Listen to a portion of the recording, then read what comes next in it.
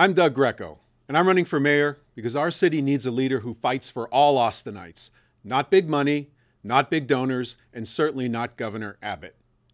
I will fight for working families, and I will stand up to the governor and state leaders when they attack our local decisions, our school funding, and our civil rights. I grew up in a working class town in the eastern coal region of Pennsylvania.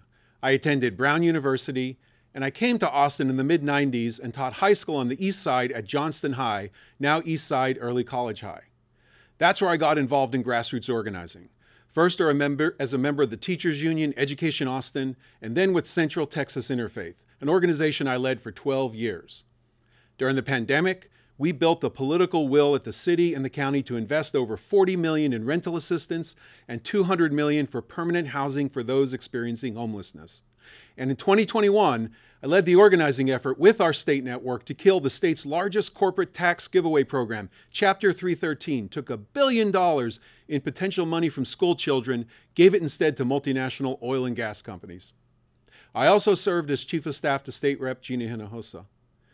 And in 2011, when a former student of mine was tragically murdered in Dove Springs along with her mother, hers was one of the record 27 anti LGBTQ murders that year. As a gay man, I felt I needed to be more involved in the LGBTQ movement. And after completing two master's degrees, once at Princeton and one at USC, I became the program director for the nation's largest LGBTQ civil rights organization.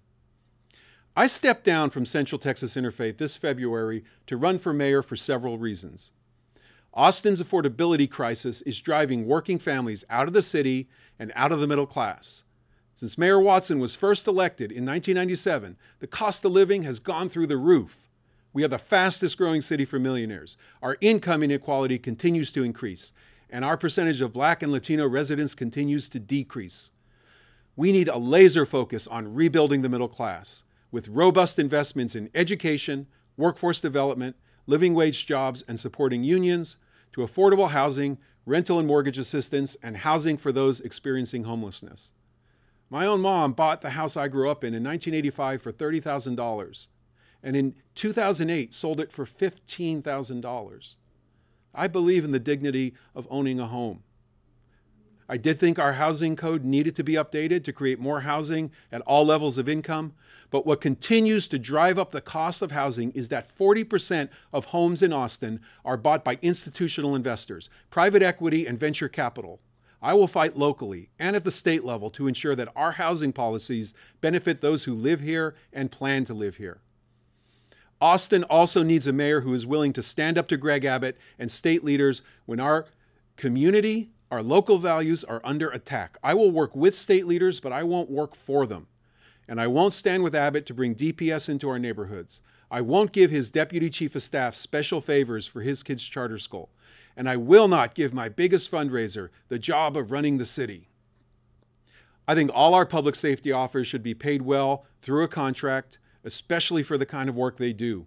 And we also should immediately implement all elements of the Police Oversight Act, as well as robust community policing strategies.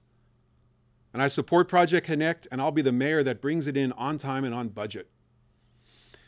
I've been endorsed by the LGBTQ plus Victory Fund, renowned labor and civil rights leader Dolores Huerta, whom I worked with in the LGBT movement, and a host of local community, labor, education, and elected leaders. And I'm running to be Austin's first openly LGBTQ mayor. We have a choice in this election. We can be a people of fate or we can be a people of faith. If we're people of fate, then let's vote for the person who's running for his eighth election in 27 years. He's been there, done that, he knows best. Let's give him one more try. Or we can be a people of faith faith in democracy, faith in the agency of active citizens, in our collective power to solve issues like affordability and protect our civil rights, and to take the responsibility to shape the future of Austin and the state of Texas. That's the type of mayor I'll be. And I thank you. Please check out our campaign at grecoforaustin.com and I ask you for your vote this fall.